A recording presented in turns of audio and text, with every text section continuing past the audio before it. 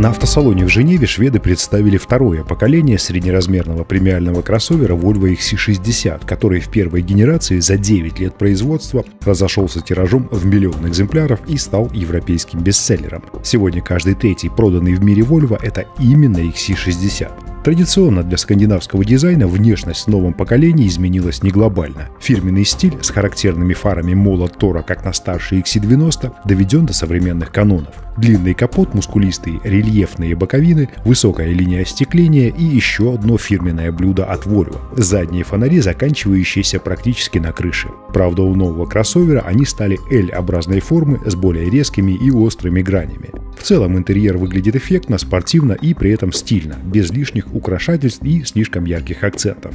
А еще теперь XC60 очень сильно похож на старший XC90, особенно впереди, благодаря все тем же фарам Молот Тора. Интерьер тоже создан по мотивам старшего XC90, и я бы назвал этот дизайн премиальным скандинавским минимализмом.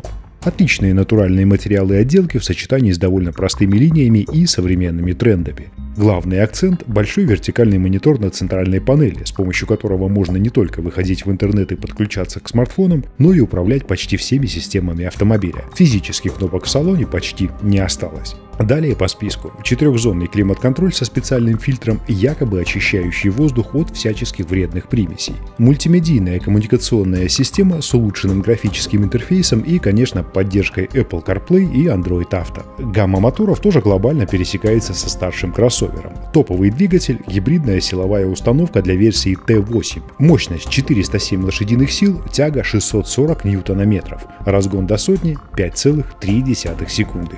Бензиновые модификации – это Т6 с нагнетателем и турбонаддувом мощностью 320 лошадиных сил и Т5, мощность которой для европейской версии 254, но для нашего рынка будет 249 лошадиных сил.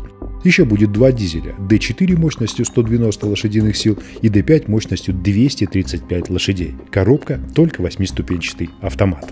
Следуя традициям, Volvo XC60 предлагает бескомпромиссный набор систем безопасности. Так, например, известный по другим моделям компании комплекс CitySafe дополнен новой функцией автоматического подруливания. И если на дороге неожиданно возникает препятствие и электронные мозги понимают, что оттормозиться перед ним невозможно, автомобиль сам изменит направление движения, чтобы избежать столкновения. Ассистент работает на скоростях от 50 до 100 км в час и, как заявляет производитель, значительно повышает шансы избежать столкновения, например, с вылетевшим навстречу автомобилем или крупным животным. Также электроника готова подстраховать водителя и взять на себя управление, если в момент перестроения в слепой зоне окажется другой автомобиль. Опционально на новый XC60 можно установить комплекс полуавтономного вождения, который берет на себя функции рулевого управления на скорости до 130 км в час. Правда, Volvo подчеркивают, система работает корректно на дорогах только с четко различимой разметкой. Так что в России этой опцией нужно будет пользоваться очень аккуратно. Производиться новый Volvo XC60 будет на родине бренда в Швеции. Первые экземпляры сойдут с конвейера уже в апреле. Следом стартуют продажи на европейском рынке. А вот до России новый кроссовер доберется лишь к концу года.